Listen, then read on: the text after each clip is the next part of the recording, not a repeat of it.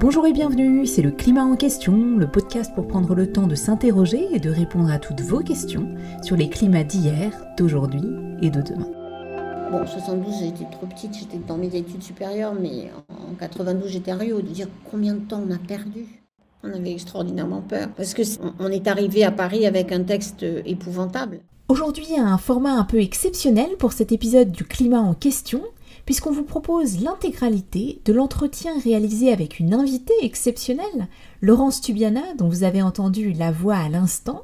Elle avait été notre invitée pour l'épisode sur le bilan de la COP 26, et dans l'épisode d'aujourd'hui, on prend le temps de prolonger cet entretien, en se tournant vers le passé et en revenant sur plus de deux décennies de COP que Laurence Tubiana a suivi de très près, en particulier les coulisses de la COP 21, avant de se tourner vers le futur. Bonne écoute Laurence Tubiana, bonjour, bienvenue dans le climat en question. Bonjour. Difficile de présenter ton CV en, quelques mots, mais je vais simplement rappeler que tu diriges actuellement la Fondation européenne pour le climat, tu es aussi présidente du conseil d'administration de l'Agence française de développement, membre du Haut Conseil pour le climat, professeur associé à Sciences Po et, bien d'autres choses encore. Je me permets de te tutoyer puisque j'ai eu la chance de t'avoir comme professeur à Sciences Po et d'ailleurs je suis particulièrement euh, émue de, te recevoir aujourd'hui parce que moi je te dois en grande partie euh, le fait d'avoir choisi de consacrer ma carrière aux questions climatiques. Parce que je me rappelle, c'est vraiment une petite anecdote, mais pour moi elle dit beaucoup. Quand j'étais en, deuxième année à Sciences Po et à l'Université Paris 6 où j'étudiais des sciences, j'avais plein de cours vraiment très intéressants d'économie, de biologie, de physique, d'histoire, de sciences sociales, etc. Mais toi, tu donnais un cours qui s'appelait, je crois, euh, Grands enjeux globaux, où tu nous parlais des enjeux climatiques, tu nous parlais euh, des risques de pandémie planétaire, des questions de migration, enfin, de tout un tas de sujets euh, autour des limites planétaires. Et je me souviens à cette époque-là que quand tu nous parlais de ces sujets, tu étais très ému. Et que je me suis dit, tiens, mais si j'ai une professeure qui des sujets tellement intéressants à raconter qu'elle est personnellement émue par les sujets dont elle parle, c'est que ça doit être vraiment intéressant. Ça m'a beaucoup marqué et ça a guidé les choix que j'ai fait ensuite pour continuer à étudier ces questions. Donc merci beaucoup et je sais que tu as formé beaucoup d'autres étudiants euh, depuis des années. Mais rentrons dans le vif du sujet. Toi qui as fait beaucoup de COP, est-ce que tu peux déjà nous mettre un peu dans l'ambiance? À quoi ça ressemble une COP Qu'est-ce qui se passe pendant deux semaines? Bien, une COP, c'est le seul moment qu'on a, la conférence des parties chaque année, où tout le monde se retrouve. Il y a différents mondes qui se retrouvent et qui se côtoient. Il y a les négociateurs donc euh, les représentants des États. Il y a évidemment les organisations non gouvernementales, les organisations des scientifiques qui sont toujours été très importantes dans les conférences des partis, les entreprises maintenant de plus en plus, et sans doute la conférence de Glasgow a été un, rassemblement particulièrement important pour euh, tout ce qui est le business, les autorités locales et aussi finalement de plus en plus le milieu politique, non seulement parce qu'il y a maintenant régulièrement, pas toujours, des chefs d'État qui participent en tout cas au début de, la conférence des partis, euh, mais aussi euh, des représentants des, parlements. Et donc euh, on a tout le monde ensemble dans, le même espace, dans la même ville, à un même moment et sur le même sujet, le changement climatique. Et parfois, on peut se demander, est-ce que, au fond, qu'est-ce que ça fait ces conférences des partis? Ça peut ressembler à des grandes messes. Mais en réalité, c'est le moment où chacun, euh, au fond, euh, dit ce qu'il fait ou va faire, et que c'est le moment aussi où s'exerce la mobilisation et la pression des uns sur les autres pour une action qui, évidemment, aujourd'hui n'est pas à la hauteur des enjeux. Donc on imagine les COP d'aujourd'hui comme ces carrefours d'acteurs où il se passe beaucoup de choses en un temps et un lieu unique, comme tu nous le disais. Est-ce que à Glasgow, c'est ça qui s'est passé euh, L'ensemble de cette émulation entre acteurs a permis quand même un petit peu de rehausser l'ambition, ce qui n'était pas du tout gagné au départ? Alors c'est vrai que ça a été une conférence des partis euh, un peu particulière parce que l'accès a été difficile pour beaucoup de pays en développement à cause des problèmes de visa et de coûts hein, d'accès à Glasgow qui étaient très très chers. Une COP aussi où il y avait peu d'ONG, d'abord euh, leur, espace même à l'intérieur de, du bâtiment de, de, la zone officielle était très limité, en tout cas au début. Et donc euh, beaucoup beaucoup beaucoup de, de, délégations, il y a eu beaucoup de monde, hein. on dit qu'il y avait 40 000 inscrits, je ne sais pas combien de personnes ont pu venir véritablement, mais beaucoup beaucoup d'entreprises d'acteurs financiers. Euh, c'était ça la caractéristique de, Glasgow, à tel point qu'il y a eu beaucoup d'articles dans la presse disant c'est un peu un Davos pour le climat. Et donc euh, de ce point de vue, euh, il y avait un peu un décalage où d'habitude on sent les ONG, les manifestations, la pression, les interpellations euh, de la société civile vis-à-vis des, des, gouvernements, mais vis-à-vis aussi maintenant des autres acteurs, et qui étaient très silencieuses parce qu'en fait, ils n'avaient pas d'espace, et notamment tout au début, pas d'accès aux médias. Donc euh, à la fin, ça s'est évidemment, heureusement, euh, corrigé. Donc c'était ça, l'ambiance était différente. Donc ça c'était pour l'ambiance, maintenant venons-en au fond des sujets. En commençant peut-être avec un des points positifs de Glasgow, on vient d'en parler avec Sylvestre et Gilles, le GIEC avait publié le rapport de son groupe 1 à l'été, et moi j'ai eu l'impression qu'à Glasgow, le message des scientifiques, notamment par exemple sur l'importance de limiter le réchauffement climatique à un degré et demi pour éviter les certaines des conséquences dont on vient de parler, a été entendu. On est vraiment très loin de débats sur la réalité du réchauffement climatique, etc. Là, les données scientifiques sont vraiment au centre des discours. Est-ce que c'est aussi ton impression? C'est mon impression. Bon, ça n'a jamais, il faut quand même être honnête, dès 1972 et dès le début, hein, de, enfin la décision de, créer une convention sur le climat, ça s'est fait sur la base des rapports du GIEC. Hein. Donc euh, il n'y a pas eu, euh, et, à chaque fois, il y a un rapport du GIEC à la COP, toujours, depuis toujours. Donc ça, c'est pas nouveau. Ce qui est nouveau, c'est euh, plutôt le, langage de reconnaissance notamment des, estimations les plus pessimistes et des rapports les plus, les plus récents. C'est très intéressant que c'est pas seulement la conférence n'a pas, euh, les partis n'ont pas juste reconnu l'importance, mais ils ont bien accueilli, c'était le terme qui a été choisi, donc reconnu l'importance de ce rapport de, de l'été et particulièrement aussi du rapport sur les conséquences du changement climatique si on dépasse euh, l'objectif du 1,5 degré comme réchauffement moyen par rapport à la période pré-industrielle. Et ça, c'était, euh, tu as raison, plus net que d'habitude. Euh, encore une fois, le GIEC est toujours là par définition au COP. Les rapports du GIEC rythment l'avancée d'ailleurs des négociations. Mais euh, là, il y a eu une gravité, si on peut dire, de, la reconnaissance de l'impact. Et c'est intéressant de voir que cette meilleure compréhension des impacts a permis de réinsister sur l'importance de limiter le réchauffement à un degré et demi, même si, comme on en discutait tout à l'heure avec Sylvestre Gilles, en fait, quand on regarde la réalité euh, des trajectoires d'émissions, on en est en fait très loin. Et d'ailleurs, un autre sujet sur lequel je voulais revenir avec toi, c'est cette fameuse négociation de dernière minute où le texte final, au lieu de mentionner une sortie du charbon, euh, a mentionné une réduction suite apparemment à une demande express de l'Inde et peut-être de la Chine. Alors déjà, est-ce que tu peux nous dire ce qui s'est passé?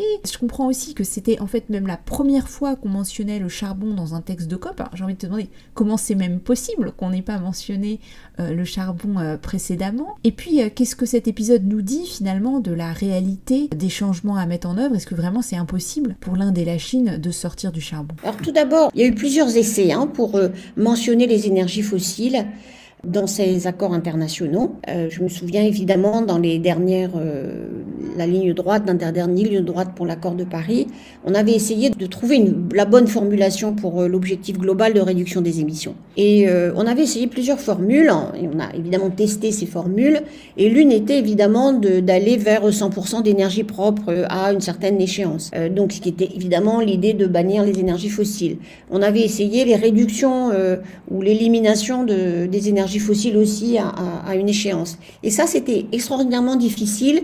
Il a fallu euh, finalement avoir une autre formulation en termes de budget carbone global. C'est le fameux net zéro émission aux alentours de la moitié du siècle. Et donc, il euh, y a eu plusieurs tentatives depuis longtemps hein, d'essayer de mettre les fossiles en évidence. Et là, euh, il faut quand même reconnaître que cette histoire du charbon, elle est dans la, ce qu'on appelle la cover decision. Donc, c'est euh, un engagement qui a une nature un peu différente hein, de, de, des décisions de la COP qui viennent après.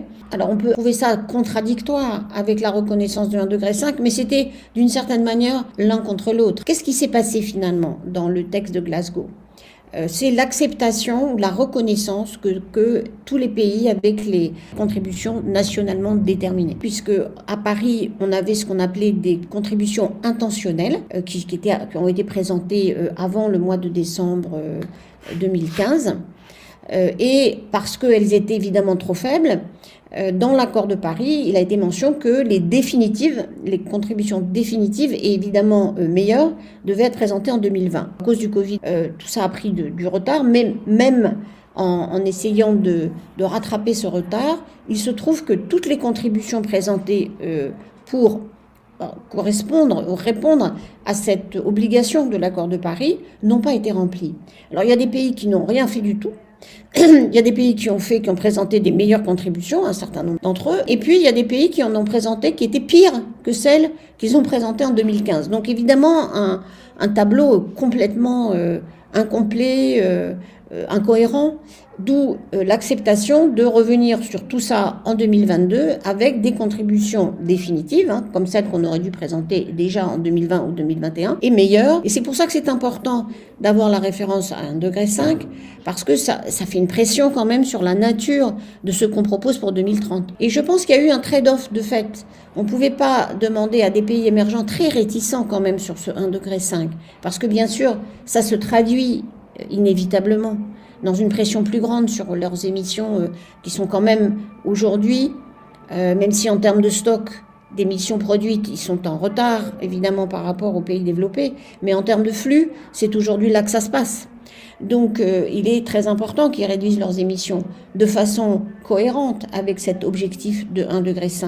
Donc il me semble que ça a été un peu l'objectif du compromis. Vous ne pouvez pas avoir et 2022, on revient avec quelque chose de mieux, et on reconnaît 1,5 degré, c'est vraiment l'objectif vers lequel on doit tendre.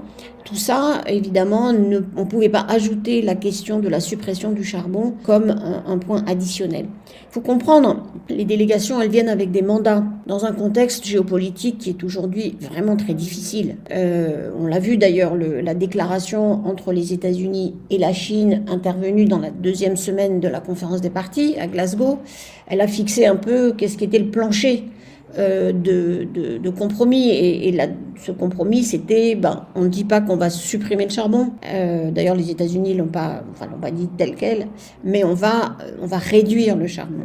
Et de, fait, c'est euh, ce qui s'est passé. Donc, c'est une contradiction dans la science, par rapport au diagnostic scientifique. On sait qu'on doit supprimer le charbon, comme on doit supprimer d'ailleurs le pétrole et le gaz un peu plus tard mais euh, c'est un compromis diplomatique. Et c'est comme ça qu'il faut le comprendre. Pour la question que tu soulèves, est-ce que vraiment c'est impossible pour l'Inde et la Chine? Aujourd'hui, immédiatement, oui, c'est clair que c'est impossible. D'avoir un scénario de réduction, de cap de la consommation de charbon, c'est le plan chinois assez clairement. Même si aujourd'hui, face à ces problèmes de coupure de l'électricité, de, des problèmes de relance de l'économie, on voit que la Chine relance très clairement hein, le pipeline de projets euh, de centrales euh, électriques à charbon. Pour l'Inde, c'est différent. Euh, c'est aujourd'hui effectivement très difficile et, du coup il y a une espèce de valse diplomatique autour de qu'est-ce que ça veut dire de réduire le charbon euh, le ministre indien a dit c'est de le réduire en proportion parce que les autres énergies vont augmenter, mais ça ne veut pas dire que en termes absolus, on va réduire la consommation de charbon. Donc on en est là. C'est déjà une première phase importante d'avoir reconnu collectivement dans, cette, dans ce cadre-là euh, multilatéral qu'il fallait vraiment aller vers la réduction du charbon et ça va pousser progressivement vers l'élimination euh, dans les stratégies énergétiques. Mais on n'en est pas encore là. Et euh, c'est tout le problème de cette négociation climat, c'est qu'elle va bien plus lentement que ce qu'on devrait obtenir étant donné la dynamique du changement climatique lui-même. Merci beaucoup Laurence pour ce décryptage et je crois que ça montre bien les différentes dynamiques à l'œuvre et euh, aussi le mécanisme que tu as essayé de mettre en place dans l'accord de Paris, puisque comme tu le disais, on a demandé aux pays de déterminer eux-mêmes leur contribution à l'effort collectif international pour le climat. Et donc avant Paris, on a eu des plans climat qui ont été présentés, on a demandé aux pays de revenir avant Glasgow avec des meilleurs plans climat comme tu viens de le dire, et là à Glasgow, on a dit aux pays revenez encore après Glasgow avec un niveau d'ambition euh, encore plus élevé. Alors finalement, cinq ans après, quelle est ton impression? Est-ce que ce mécanisme qui est au cœur de l'accord de Paris fonctionne? Écoute, je pense que d'un côté, j'étais contente parce que l'accord de Paris fonctionne la pression par les pairs, le fait qu'on revienne avec des plans climat, qu'on accepte maintenant de les faire examiner par les autres, c'est ça qui va se passer à partir de 2022, que chaque cinq ans maintenant on revient avec des plans meilleurs, sauf cette urgence qui fait que on va commencer en 2022 déjà à avoir, il faut l'espérer, des meilleurs, euh, des meilleurs plans climat. Tout ça, euh, cette dynamique de l'accord de Paris, elle marche. On essaye, il y a vraiment, ça marche aussi du point de vue de reconnaître l'importance de l'objectif global de limitation des températures. Et que ça veut dire émission net zéro vers 2050. C'est pour ça qu'on a vu d'ailleurs, en l'absence parfois, hein, souvent même, de contributions pour le court terme, pour les dix prochaines années, très claires, ça, ça manque. On a vu beaucoup de pays, il y a plus de 130 pays, je crois, qui ont déposé se sont engagés à être à zéro émission nette en 2050. Et ça, c'est la traduction hein, de l'article 2 qui est vraiment bien, ce qui, ce qui prouve que, en tout cas, euh, les pays ont commencé à comprendre ceux qu'ils ont signé à Paris euh, il y a maintenant six ans. Donc, ça, c'est positif. Ça prouve que l'accord de Paris marche. On a ce mécanisme de réexamen régulier, mais en même temps, que te dire Pendant ce temps-là, les émissions globales, elles ont continué à augmenter. On a certainement perdu 4 ans avec la présidence Trump du point de vue de la diplomatie climatique. Ça a permis à beaucoup de pays de reculer ou de ne pas avancer du tout. Je pense à l'Australie, je pense au Brésil, je pense au Mexique ou même à l'Indonésie. On a encore, euh, on a encore beaucoup, beaucoup de chemin à faire. On va revenir plus longuement dans l'entretien sur comment est-ce que tu avais réfléchi, toi, à cette logique de l'accord de Paris dans laquelle les négociations et ces plans climat qui sont présentés par les États doivent être renforcés par des dynamiques politiques, des dynamiques de la société civile et vraiment une dynamique de l'ensemble des acteurs euh, que les COP elles-mêmes ne peuvent pas évidemment tout régler. Mais je voudrais qu'on revienne avant à un point important qui a été discuté pendant ces COP, qui est aussi très important pour aider des pays comme euh, l'Inde ou l'Afrique du Sud à engager leur transition avec moins ou plus de charbon.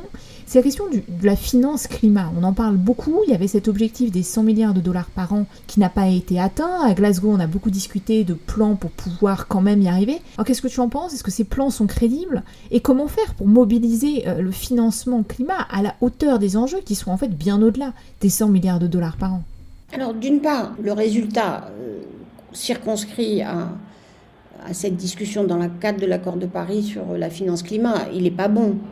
Euh, on s'est engagé en 2009 à avoir un transfert de 100 milliards de dollars, euh, certes avec du financement privé, mais aussi beaucoup de financement public vis-à-vis des, pays développés vers les pays en développement. Et en 2021, on n'est même pas euh, fichu d'arriver à 4, en gros à 80 milliards par an, avec des années qui ont été même un petit peu moins bonnes que ça. Donc on, on sait avec les nouvelles annonces américaines qu'on devrait arriver en 2023 à ces 100 euh, milliards de dollars. Et il y a donc eu un plan proposé euh, qui a, je crois, pas complètement convaincu, il faut le dire, mais enfin, il y a au moins un plan euh, pour reconnaître le déficit qui s'est accumulé et essayer de, le, combler.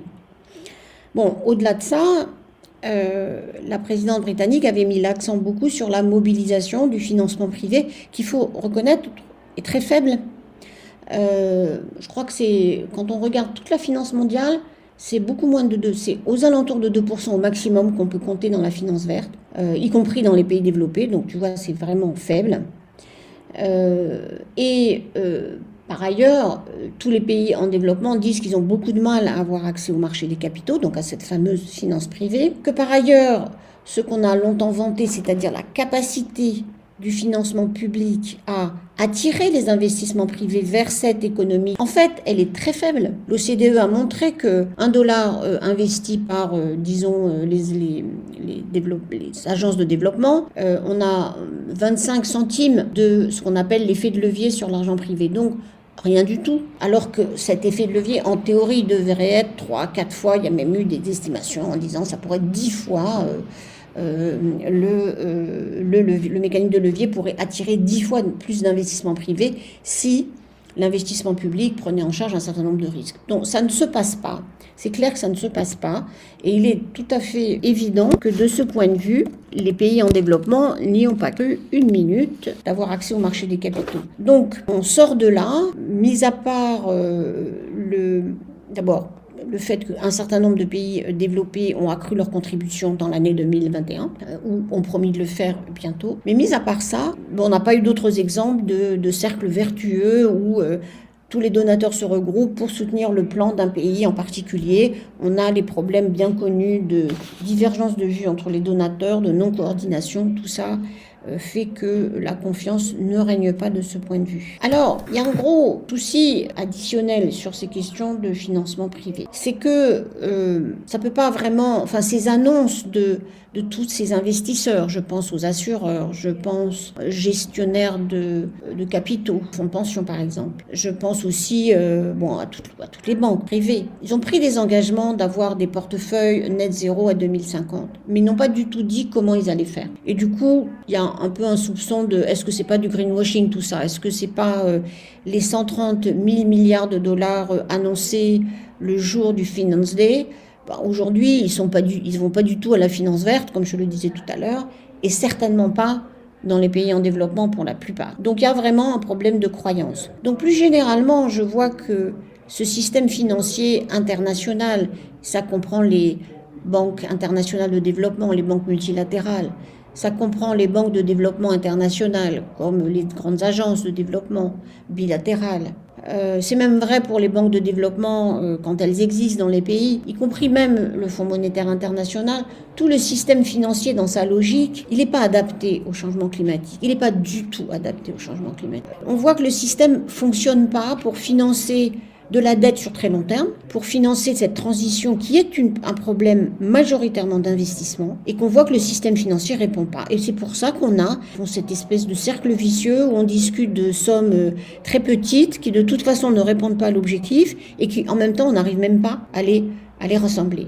Donc il y a une aberration, me semble-t-il, et je crois qu'il faut maintenant porter le débat là où ça doit être porté, au plan euh, euh, du Fonds monétaire, internationale, des banques multilatérales de développement, de, des questions de stabilité financière, des organismes qui gèrent la dette, pour que tout ça se, réponde à cet enjeu majeur. Alors, je suis pas forcément optimiste, hein, on n'a pas aujourd'hui fait sur les vaccins, même si on a un peu géré quand même cette histoire de dette, mais euh, il faut qu'on gère la dette euh, des pays qui sont aujourd'hui coincés par les événements extrêmes euh, et qui ne peuvent pas rembourser leur dette parce que tous les ans, leur infrastructure est détruite ou abîmée par le changement climatique. Donc on est là devant une contradiction majeure. Je crois que c'est une des grandes contradictions qu'il faut lever dans les, dans les mois qui viennent. Alors beaucoup d'enjeux sur ces questions de finance-climat. On y reviendra d'ailleurs dans de futurs épisodes du climat en question. Mais je crois que tu as vraiment raison d'insister sur le fait que le réchauffement climatique doit être vu comme un risque macroéconomique majeur et qu'il faut le placer au cœur des réflexions sur la finance, pas simplement comme un sujet euh, annexe ou euh, qu'on traite via des fonds dédiés euh, séparés du cœur des institutions. Je voudrais maintenant qu'on passe à un autre sujet qui a été beaucoup discuté discuté à Glasgow, qui est lié un peu à ces questions de financement, c'est celui des marchés carbone. Est-ce que tu peux nous expliquer déjà comment ça marche? Et puis il y a eu quand même beaucoup de euh, plaintes liées au greenwashing des crédits carbone. Comment est-ce que ce système peut fonctionner est-ce qu'il peut fonctionner dans cet effort majeur que tu as décrit pour la transition vers un monde bas carbone? Alors on peut prendre pour l'expliquer un bon exemple. Hein. Quand on prend un billet d'avion aujourd'hui, la plupart des compagnies aériennes vous disent euh, c'est très bien, euh, votre vol qui émet beaucoup de carbone, il a été compensé. Comment il a été compensé? Comment toutes ces émissions de carbone de ce vol ont été compensées? Elles ont été compensées en achetant euh, des réductions d'émissions qui vont se passer ailleurs. En particulier, l'idée qu'un pays va renoncer à déforester une partie de son territoire euh, ou, va replanter des arbres, et que ça, ça va compenser les émissions de ce passager qui fait un Paris-New York. Bon, euh, aujourd'hui, c'est ça les marchés carbone. C'est des achats de, des crédits, donc, de, des, émissions de carbone qu'un pays ou une entreprise va décider de ne pas faire. Et euh, au lieu de le compter dans son bilan, va au fond le proposer à quelqu'un d'autre qui va l'ajouter à son activité. Et les marchés carbone qu'on a discuté à la COP à Glasgow, c'était le problème d'essayer de, trouver des bonnes règles un peu claires parce que on voit bien ce que ça veut dire. Euh, je prends peut-être un petit exemple qui est vraiment intéressant. En, Europe aujourd'hui, le marché carbone, le prix du carbone dans ce marché qui concerne euh, les industriels essentiellement et les fournisseurs d'électricité, c'est 75 euros la tonne. Donc quand, on doit euh, acheter un, crédit carbone pour, euh, évidemment, pouvoir émettre ce droit d'émission, ça coûte 75 euros. Euh, sur le marché carbone aujourd'hui, un crédit carbone, c'est entre 5 et 6 euros, 7 euros la tonne. Donc c'est, on voit bien là qu'il y a quelque chose, il y a un problème qui effectivement que ce, mais ces marchés carbone ne sont pas vraiment encadrés et peuvent donner lieu à vraiment euh, un peu n'importe quoi du point de vue de leur comptabilité. Alors c'est pour ça que à Glasgow, en tout cas entre les pays, et pour ce qui est euh, du marché dit officiel, celui qui va être reconnu par euh, la Convention cadre Nations Unies et l'accord de Paris, euh, il y aura des règles centralisées. On ne pourra pas euh, compter deux fois cette réduction d'émissions. Si le Brésil a vendu un crédit d'émission lié à sa non-déforestation à euh, une entreprise ou un autre pays, il ne pourra pas le compter dans son bilan à lui. Il faudra que ce soit dans le bilan de l'autre. Donc pas de double compte. On, ne va, bon, je, passe les détails, pas récupéré tous les crédits potentiels qui étaient là euh, dans les tuyaux. Tout ça est assez bien. En revanche, malheureusement, on n'a pas réussi à encadrer dans le même système ce qu'on appelle les marchés volontaires, ceux qui existent aujourd'hui, et qui peuvent être entre entreprises ou liés à des entreprises. Et donc, il nous faut vraiment quelque chose qui montre que même ces marchés volontaires, qui au fond peuvent permettre à des entreprises de ne pas travailler sérieusement à ce émission net zéro en 2050. Et 2050, c'est dans très peu de temps. Surtout quand on a un secteur sur lequel on n'a pas encore trop d'idées comment on va arriver à être à zéro émission. Et la plupart du temps, dans net zéro émission, il faut le reconnaître, les gens entendent net, mais ils regardent pas le zéro. Et ça veut dire que tout le monde doit réduire les émissions. On ne pourra pas compter sur d'autres parce qu'il y en aura trop. Il n'y aura pas de miracle. Et donc c'est pour ça que ces marchés carbone sont importants, mais ils doivent être très encadrés. Ils doivent être au fond réservés aux activités qui pour l'instant n'ont pas du tout de solution technologique ou de transformation. Merci pour cette explication. Je retiens vraiment cette idée importante de la régulation des marchés carbone et aussi d'utiliser les crédits carbone pour compenser les émissions seulement pour ces émissions extrêmement difficiles à réduire et pas en se disant bon bah voilà on continue tout comme avant et puis on va planter des forêts euh, n'importe comment n'importe où euh, ailleurs dans le monde. Ça ça marchera pas et, on le sait très bien. Alors pour finir il nous reste très peu de temps. Je voudrais t'interroger sur un autre sujet cette fois-ci sur les impacts de ces pays. On a entendu euh, des discours très poignants à la COP de pays qui vont tout simplement disparaître sous les eaux à cause du réchauffement climatique. Et ça nous amène à la question de la perte et des dommages. Comment est-ce qu'on fait pour compenser ces pays qu'est-ce qu'on peut leur proposer et qu'est-ce qui s'est discuté euh, plus généralement sur les questions d'adaptation euh, à la COP26 Alors, déjà, une première chose, c'est à Paris, c'était euh, très difficile à faire reconnaître, donc on a mis en place un processus. Bon, on a pas énormément avancé, mais la prise de conscience des, de ces pertes vraiment qui se traduisent euh, très très concrètement dans la destruction de territoires, infrastructures, des maisons. Des... Et donc euh, de ce point de vue, il y a eu quand même une prise de conscience qu'on ne pouvait pas continuer à juste faire des processus. Mais il y a encore un énorme blocage pour créer un fonds euh, spécifique. Euh, et ça va être tout le travail des années qui viennent. Donc, mais pour l'instant, il y a un très grand blocage, soit parce que les pays ont peur d'être accusés, au fond, à un moment, d'être considérés individuellement comme responsables et devant payer pour tel ou tel pays euh, du point de vue de ces dommages. Mais euh, en même temps, euh, il va bien falloir qu'on y arrive à cette assurance euh, globale. Sinon, une injustice extraordinaire. sur l'adaptation, on a quand même obtenu que collectivement, on devait doubler le financement actuel de l'adaptation qui aujourd'hui représente de ces péniblement 80 milliards, c'est seulement 25% qui vont à l'adaptation. Donc encore beaucoup d'efforts nécessaires de ce côté-là aussi. Et pour conclure, euh, Laurence, avec quelques semaines de recul, maintenant quel est ton bilan en quelques mots de cette COP26 Et surtout, quelles sont les priorités alors qu'on commence déjà à regarder euh, vers la COP27 qui aura lieu l'an prochain? Peut-être déjà, il faut, quand même reconnaître que euh, la mobilisation des citoyens est quand même la meilleure nouvelle pour l'accord de Paris. Et, la mobilisation de la jeunesse qui demande au pays d'être sérieux sur l'accord de Paris auquel ils se sont engagés, y compris d'ailleurs euh, les procès intentés par les citoyens. Euh, tout ça fait partie d'un environnement qui est tout à fait considérable. Pour l'instant, il n'y a pas de sanctions internationales, donc c'est quand même la pression des sociétés, et de façon compréhensible, parce que c'est d'énormes changements qu'il faut faire intervenir. Et si on n'a pas la mobilisation des citoyens, des sociétés derrière euh, ce changement, ça ne pourra pas avoir lieu. Deuxième chose, c'est que on n'a pas le temps de détailler les annonces. Il y a eu des annonces très intéressantes sur euh, la réduction du méthane ou euh, la déforestation. Mais enfin, c'est pas la première, mais il y en a une autre. Il y a eu tous ces engagements sur net zéro de, beaucoup d'entreprises ou d'investisseurs. Et on voit maintenant que le grand problème, c'est qu'il y a des mécanismes de de, vérification, de pression entre les pays, hein, qui vont démarrer donc euh, maintenant qu'on est d'accord sur les règles euh, l'année prochaine. Mais il n'y a rien pour tous ces acteurs euh, non gouvernementaux sur ce qu'on appelle les non-partis, qui ne sont pas les gouvernements de l'accord de Paris. Quand les entreprises annoncent quelque chose, personne ne les oblige à respecter leurs engagements. C'est la même chose pour les acteurs financiers, c'est même la même chose pour les villes ou les États dans les systèmes fédéraux. Et on voit ce manque, qui d'une part a donné lieu à Glasgow cette impression de greenwashing, de fait qu'il y avait beaucoup d'annonces, mais qu'en réalité, il n'y avait rien qui allait se passer. Et donc, euh, on a besoin de mécanismes de, de, reddition des comptes, de vérification, y compris de de ces acteurs-là.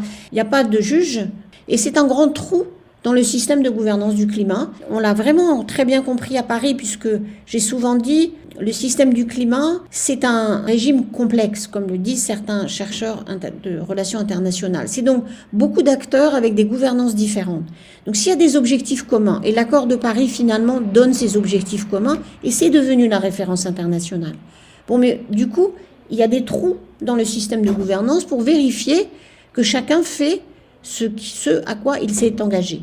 Et je crois que c'est le nouveau pas qu'on doit faire dans le système de gouvernance du climat. Un grand trou dans cette raquette représentant l'architecture de la gouvernance internationale sur le climat, et alors qu'on a vu que c'était déjà assez sportif de vérifier que les États eux-mêmes remplissaient leurs engagements, c'est vrai que quand on regarde l'ensemble des autres acteurs, on se demande un peu comment on va pouvoir suivre les promesses des uns et des autres et, éviter que tout cela ne soit que du greenwashing. Alors la COP26, il y a quand même eu quelques annonces importantes, est-ce que tu peux essayer de nous en parler rapidement et nous dire qu'est-ce qu'elles représentent vraiment potentiellement en tout cas en termes d'impact. Il y a eu des annonces sur le méthane, sur les forêts euh, en particulier, et aussi sur les transports, qui contiennent des mesures supplémentaires qui permettraient en fait de combler l'écart, en gros de 2,2 gigatonnes de CO2 c'est-à-dire, si tout était fait, si on avait tous les pays faisaient le net zéro à 2050, s'il y avait l'accord sur le méthane, le, charbon, même si euh, les très grands consommateurs de charbon n'ont pas signé, les forêts et les transports, on se rapprocherait davantage euh, des 1,5 degré, on serait peut-être à 1,8 degré.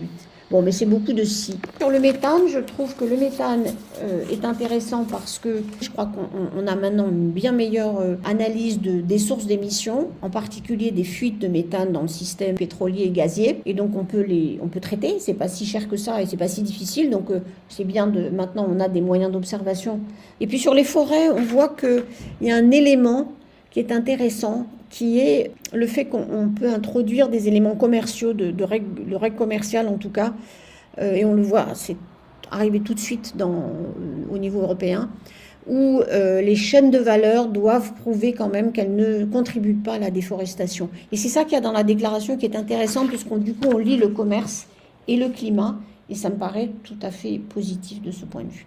Alors, il y aurait encore beaucoup de choses à dire sur le bilan de la COP26, mais on va s'arrêter là parce que je voudrais qu'on ait le temps de revenir sur plus de deux décennies de COP que tu as suivies de très près, en commençant peut-être par la COP 21, tu as joué un rôle clé dans le succès de l'accord de Paris, et je voudrais te demander, d'abord peut-être d'un point de vue un peu théorique, qu'est-ce que tu avais analysé, compris des leçons des échecs précédents, notamment de l'échec de Copenhague et des limites euh, de l'accord de Kyoto, qui t'ont permis d'imaginer un système complètement nouveau pour euh, l'accord de Paris? Est-ce que quand tu as rejoint l'équipe de négociation française, tu savais déjà ce qu'il fallait faire pour qu'un accord à Paris soit possible?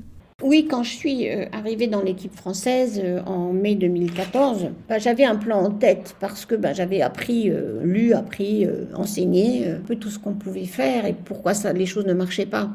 Et, du coup, on voyait bien que il y avait quelque chose de très fondamental qui avait d'ailleurs conduit hein, à, l'échec de Copenhague, qui était la, la, demande et, le respect de la souveraineté de chaque pays dans son choix de modèle de développement. Et que même s'il y avait, et donc il y avait ce, ce point très fondamental qu'on a appelé bottom-up, qui était de laisser l'espace politique, l'espace euh, pour chaque pays pour décider de son avenir de comment il allait le gérer. Et que ça, c'était une ligne rouge fondamentale dans le système international c'est de ne pas briser, de ne pas réduire cette capacité de décision autonome de chaque pays. Et on le retrouve évidemment dans un des piliers, si on veut, de l'accord de Paris, l'un des quatre piliers, qui sont ces contributions et dont, dont on a appelé pour bien montrer l'importance de ce principe de souveraineté, euh, qui sont ces contributions déterminé au niveau national. Et le déterminer, évidemment, euh, est tout à fait important et, ça vient évidemment de, de l'observation des difficultés à s'accorder euh, auparavant. Donc ça, c'était la première chose, le principe de souveraineté, mais en même temps le besoin d'encadrer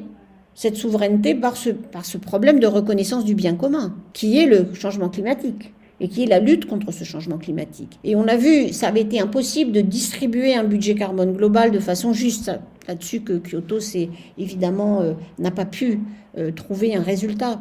C'est aussi sur ce même problème que euh, l'accord de Copenhague n'a pu aussi exister. Hein. On n'a pas réussi à se, mettre d'accord sur un, enjeu global. Et du coup, en, en pensant à ce compromis, cet équilibre entre le principe de souveraineté d'un côté et la préservation du bien commun de l'autre, en essayant de trouver un équilibre entre les deux. Ça a été ça, euh, la, conception, je dirais, architecturale de l'accord de Paris, avec évidemment des objectifs globaux, des mécanismes, des processus, le fait de revenir régulièrement devant les pairs, de présenter régulièrement des plans climat, euh, de, regarder aussi le fait que c'est un processus de long terme, donc cet accord-là, il est pour toujours, il faut l'espérer, et qu'il faut simplement aménager les stratégies qui mènent au respect de l'objectif global euh, d'arriver à cette euh, réduction euh, des émissions nettes au milieu du siècle et d'ensuite aller à des émissions négatives. Hein. c'est ce qui est évidemment dans le texte de Paris. Alors, si on résume, on a appris de l'expérience de Kyoto et de l'échec de Copenhague que, hélas, tenter de se partager le budget carbone mondial qui nous resterait à émettre de façon équitable, ça ne marche pas. Alors l'idée de Laurence, c'était de dire, eh bien puisque ça ne marche pas, on va demander à chaque pays, en respectant sa souveraineté, de présenter son propre plan climat, ce à quoi il s'engage à son niveau dans sa juridiction, pour contribuer globalement à limiter le réchauffement climatique à 2 degrés. Et on va demander à tous les pays de revoir leur copie avec une ambition à la hausse tous les cinq ans. Donc ça, c'est l'architecture. Et après, au-delà de l'architecture, il y a l'idée de... Je viendrai sur les deux autres piliers de l'accord de Paris. Là, c'est les deux premiers, donc le pilier euh, régulation et le pilier souveraineté nationale. Et, il y a quelque chose qui, pour moi, a été très important, qui était de se dire, il faut changer la, la perspective, la perception des intérêts de chaque pays. Et comment est-ce qu'on fait ça? Euh, eh bien, à l'instant T, un pays dit non, euh, parce qu'il perçoit son intérêt, son intérêt national de souveraineté est mis en danger. Mais si on revient régulièrement sur le problème, si euh, la connaissance s'accroît, notamment fournie par les scientifiques du climat, si on comprend que les technologies évoluent, si on comprend que le système financier évolue, alors la perception des intérêts peut changer. Et de fait, en se fondant sur la connaissance, qui est ce qui est un des grands courants hein, de la théorie des relations internationales, eh bien on voit que la perception des intérêts, d'abord elle n'est pas unique parce qu'il y a plein d'acteurs dans chaque État. Et ces acteurs, ils travaillent aussi, pas seulement au niveau national, mais ils comprennent ce qui se passe dans l'enjeu international. Ils s'inquiètent des impacts du changement climatique. On le voit aujourd'hui dans tous les pays. Il y a des activistes, des, des ONG, mais aussi des entreprises qui s'inquiètent du changement climatique et qui demandent des mesures. Et c'est cette interaction constante qui, à mon sens, pouvait permettre de changer cette perception des intérêts. Et en diplomatie, on pense toujours qu'il y a des lignes rouges et qu'elles ne sont pas modifiables. Et en fait, dans le temps, et par la répétition de la discussion, par l'apport de nouvelles connaissances, ces lignes rouges changent. Et ça, ça a été l'idée qu'il fallait changer la perception. Et que par ailleurs, en changeant la perception, ces mécanismes de mise en œuvre euh, de l'accord de Paris, on a, quasiment rien, on n'a pas de sanctions. Hein. Si quelqu'un ne veut pas, ben, si, un pays ne veut pas obéir ou même se soumettre, on a, on a peu de choses, on n'a que la pression des pairs. Mais si la perception c'est que tout le monde va le faire, alors il ne faut pas rester en arrière. Et on le voit dans beaucoup de domaines, comme l'électrification du transport par exemple, ou le financement international du charbon, euh, qui a été finalement, en tout cas du financement public, euh, a été maintenant internationalement euh, abandonné, ou en tout cas va être abandonné. Donc c'était ça un peu la perspective théorique, donc très fondée évidemment sur euh, certaines conceptions des relations internationales, davantage sur ce qu'on appelle les approches constructivistes plutôt que sur les approches réalistes. Et j'ai ajouté à ça cette notion de, c'est un, parce que c'est une évidence, le climat, ça se discute pas seulement dans les gouvernements ou dans un accord international de la Convention climat. Ça se discute partout parce que les décisions se prennent partout. Et donc c'est bien un régime complexe au centre de Robert Keohane. C'est ça qu'il faut comprendre. Et du coup, si on sait ça, il faut qu'on regarde dans chaque gouvernance de chaque décideur comment est-ce que les objectifs climatiques peuvent être repris. Gardez bien ces deux idées en tête, elles sont importantes et on y reviendra dans le prochain épisode du climat en question. D'une, les perceptions peuvent changer, et plus rapidement qu'on ne le pense souvent, en particulier si les autres autour de nous sont en train de changer, et si des solutions et des technologies plus abordables deviennent disponibles. De deux, compte tenu des changements à mettre en œuvre, on aura besoin de tout changer et on aura besoin de tout le monde partout. D'où mon idée d'ajouter deux piliers à ces deux premiers piliers qui ont été le pilier financier dont on vient de discuter et qui n'est vraiment pas du tout encore au point, et le pilier des actions volontaires euh, des euh, acteurs non partis de l'accord de Paris, mais qui veulent être alignés avec l'accord de Paris, et pour lequel, en 2015, je souhaitais, et c'est en train de venir, mais c'était pas mûr à l'époque, que chaque autorité locale, chaque ville, chaque État, chaque entreprise, chaque acteur économique et aussi chaque acteur multilatéral fasse sa contribution, comme les pays disent comment il allait faire sa stratégie de décarbonation, disent comment il allait euh, tous les cinq ans revoir cette stratégie et présenter une meilleure stratégie. Et c'est en train de venir. Alors c'est en train de venir, même si comme tu nous le disais, il y a encore des trous dans la raquette.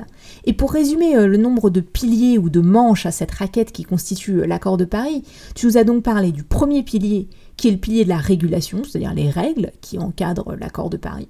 Deuxième pilier, les contributions nationales, c'est-à-dire en tant que pays, à quoi est-ce que vous vous engagez? Pilier numéro 3, les questions de finance. Qui est-ce qui paye? Comment on paye? Comment est-ce qu'on adapte le système de la finance internationale aux enjeux climatiques? Et pilier numéro 4, que font tous les autres?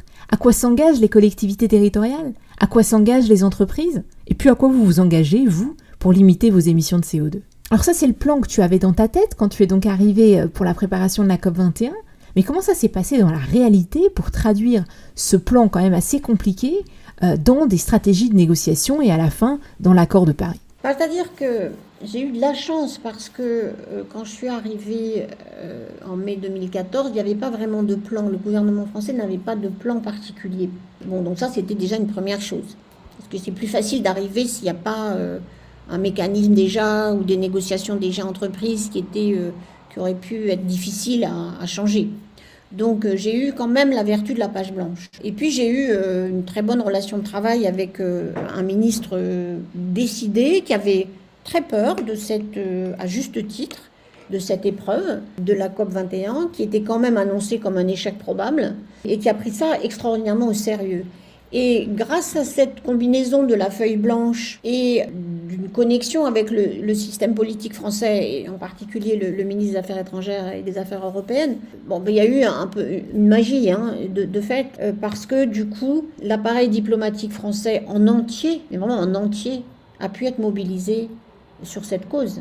Et c'est très important parce que, bon, une fois que j'avais le plan, que donc Laurent Fabius, le ministre des Affaires étrangères, l'a compris, on a lancé la mobilisation de tous les postes dans tous les pays du monde où la France est représentée. Il se trouve qu'on a, disons, une présence diplomatique très étendue. Et du coup, chaque ambassadeur a dû, tous les 15 jours, rapporter ce qui se passait dans le pays, euh, montrer qu'il avait euh, organisé des dialogues avec le gouvernement, toujours avec nos quatre piliers, en, ayant l'idée hein, de, ce, de ce qu'il fallait obtenir, les contributions nationales, euh, l'idée qu'il fallait un accord global, euh, savoir ce qui se passait dans le pays, donc comprendre où en était le pays, justement ces fameuses lignes rouges, engager le débat avec le reste de la société. Parce que là aussi, et euh, tu t'en souviens sûrement de tes cours à Sciences Po. Un État, c'est jamais une entité euh, monolithique. Il y a toujours des débats. Et il y a des acteurs qui jouent aussi avec le secteur international, le niveau international, pour se faire entendre. Et donc, euh, les ambassadeurs, euh, sur cette histoire des deux niveaux, bon, on peut en avoir plusieurs de niveaux, mais en tout cas, il y en a bien deux, le national et le et l'international, les, les, ambassadeurs ont été invités à organiser des réunions sur le climat avec les parlementaires, avec les ONG, avec les entreprises. Ils ont dû faire ça de façon extraordinairement intensive. Et ça, ça a marché extraordinairement parce que, euh, d'abord, du point de vue de l'équipe française qui animait euh, la COP 21, on avait un degré de connaissance euh, de chaque pays qui, qui, qui, vaut beaucoup mieux qu'une visite. C'est très important, les, déplacements. Mais c'est pas en passant trois jours dans un pays, ce qui est quand même le maximum qu'on peut faire, qu'on comprend ce qui se passe. Et il faut bien qu'il y ait cette intégration de la connaissance dont je parlais tout à l'heure. Et ça, ça a été le travail extraordinaire euh, de tous les ambassadeurs et de tous euh, les conseillers, enfin de tous les, postes dans tous les pays. Deuxième chose, il fallait faire très attention à ça, c'est qu'il fallait euh, montrer à chaque pays qu'on faisait ça. Et par, exemple, la première réunion sur le climat euh, qui se soit déroulée au Pakistan s'est fait à l'ambassade de France parce que c'était pas un sujet à l'époque.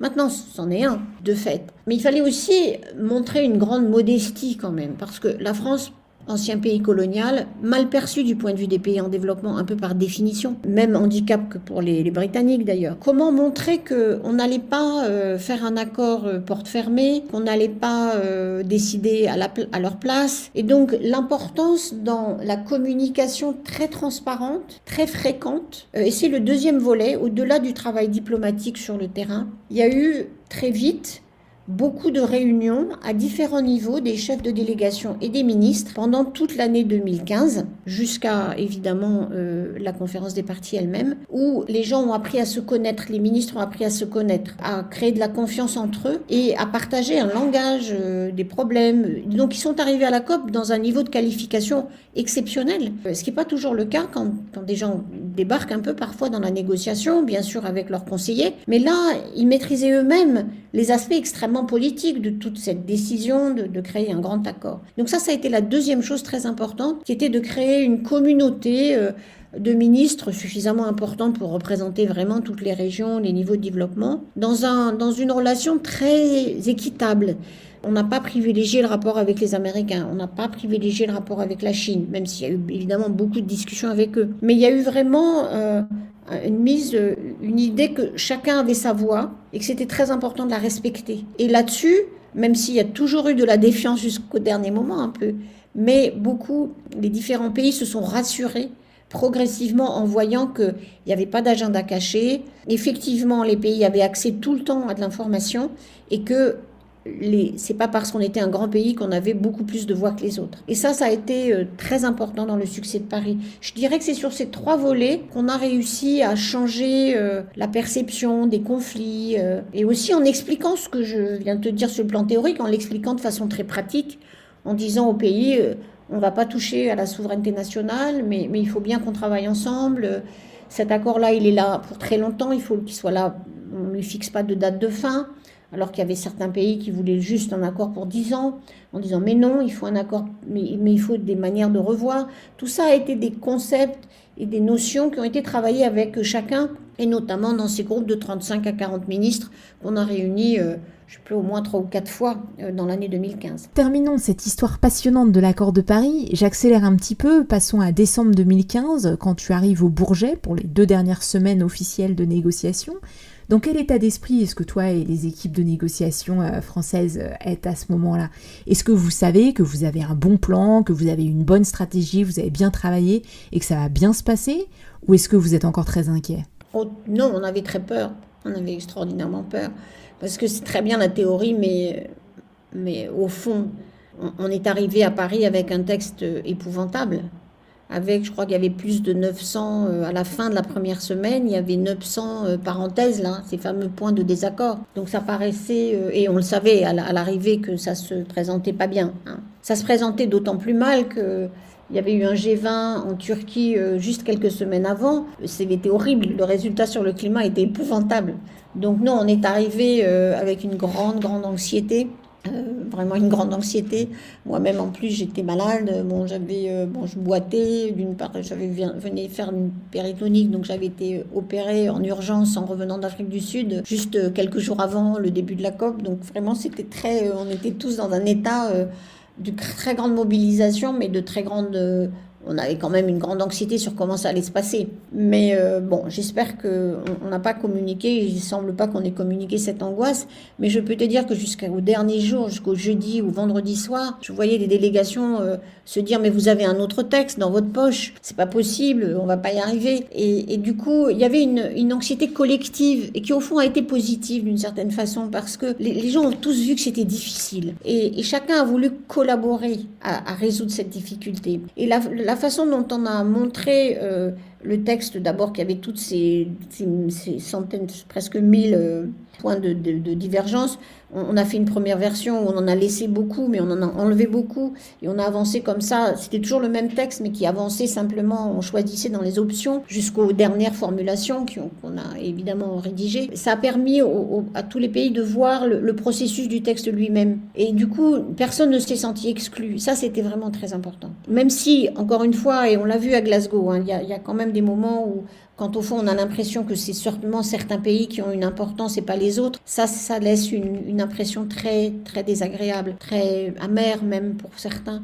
Tandis que là, ça s'est passé de, on n'a pas déguisé les difficultés, on a été super transparent sur comment euh, comment ça peut évoluer. Et une anecdote que je raconte souvent parce qu'elle m'a marqué pour toute ma vie, le, la, négociation de dernière minute a évidemment été sur l'objectif global très difficile, hein, euh, très compliqué. Euh, un refus de la Chine au dernier moment qu'on a réussi à finalement à convaincre. Et ce qui s'est passé, c'est que euh, le, matin même, j'ai donc été expliqué aux différentes délégations, non pas leur montrer le texte, puisqu'il fallait qu'il soit imprimé et distribué à tout le monde en même temps, pour des raisons évidemment de, transparence, mais tout ce qu'ils allaient trouver pour qu'ils ne soient pas surpris. Hein. On a eu une politique de que les gens ne soient pas surpris de ce qu'ils allaient découvrir. Et j'ai eu une scène, enfin que je vais te raconter rapidement, mais J'étais épuisée, euh, j'explique aux pays les plus difficiles, tous les pays pétroliers, en gros, plus euh, ce qu'on appelle les like-minded, c'est-à-dire vraiment les pays qui sont toujours contre l'ambition, Venezuela, Iran, euh, bon, Chine, Malaisie, enfin les pays difficiles.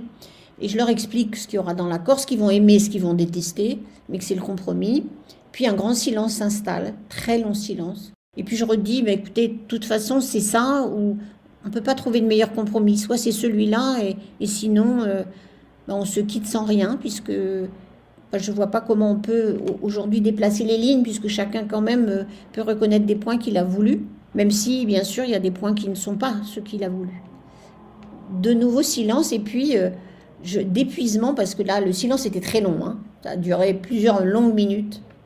Et je crois que mes yeux se mouillent et je commence à, pleurer de fatigue, enfin tout simplement, je n'avais pas dormi trois jours. Et, la, privation de sommeil, c'est quelque chose de, très déstabilisant.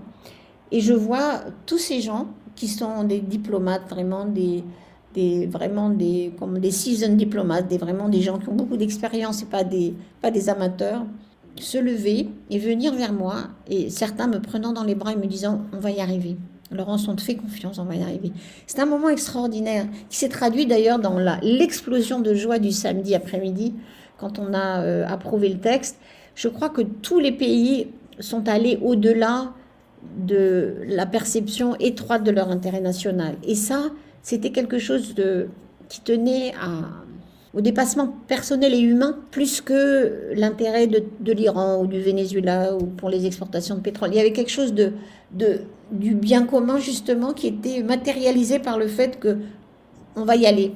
Et ça, je pense qu'on peut retrouver ça, même s'il n'y a pas eu cette explosion de joie à Glasgow, évidemment, euh, on en était loin, mais euh, il y, a quelque chose de fondamentalement euh, possible dans la mobilisation de cette perception de l'intérêt commun, s'il y a un sentiment de justice, c'est un sentiment d'honnêteté au fond, je dirais, qui me paraît être aujourd'hui peut-être le mot d'ordre le plus important qu'on doit développer dans cette lutte contre le changement climatique, d'être honnête ce qu'on fait. Là encore, deux idées fondamentales sur lesquelles on reviendra dans les épisodes du climat en question. La première, j'en suis profondément convaincue, c'est qu'on ne fera pas de transition écologique sans justice sociale.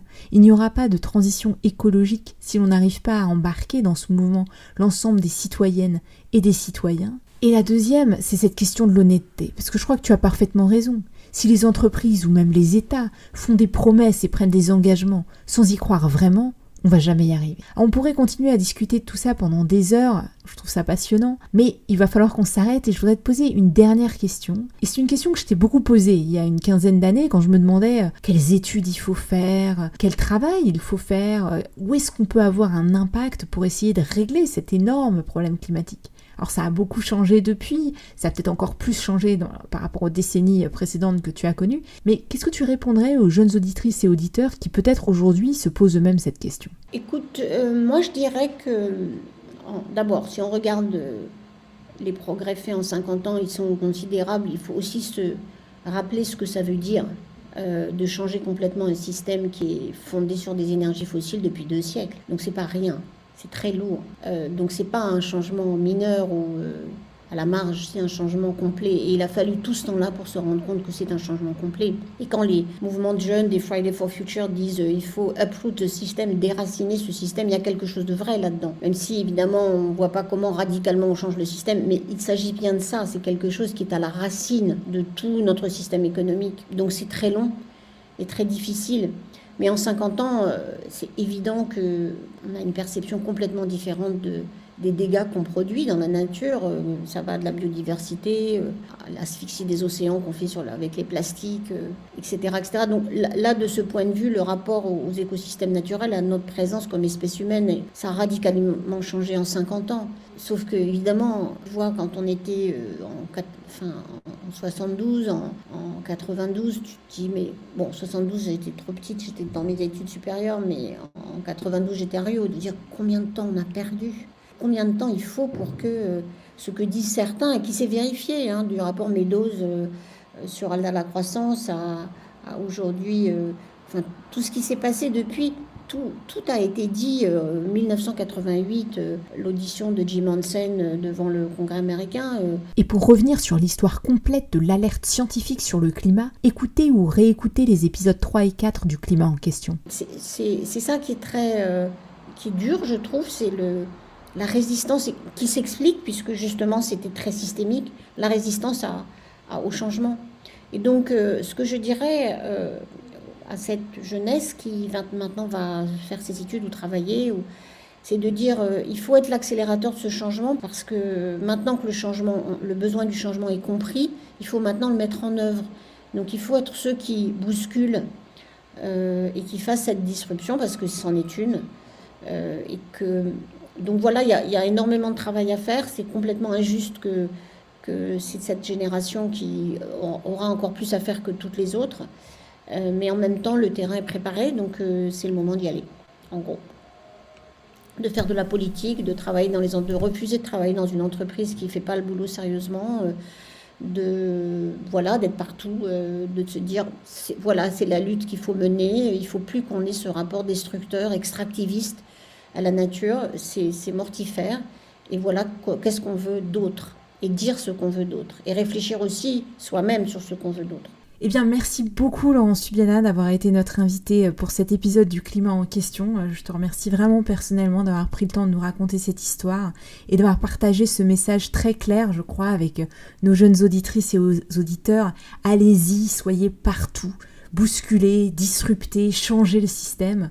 Nous, dans le climat en question, on continuera avec vous à imaginer ce qu'on veut d'autre, à décrire les difficultés, mais aussi les solutions dont on a tant besoin pour accélérer cette transition. En attendant, et comme d'habitude, un grand merci à Alexandre Carrier, Fabrice Sétifié, Karim Baldé ainsi qu'à Clément Sundon pour la musique originale de ce podcast fait maison avec les moyens du bord.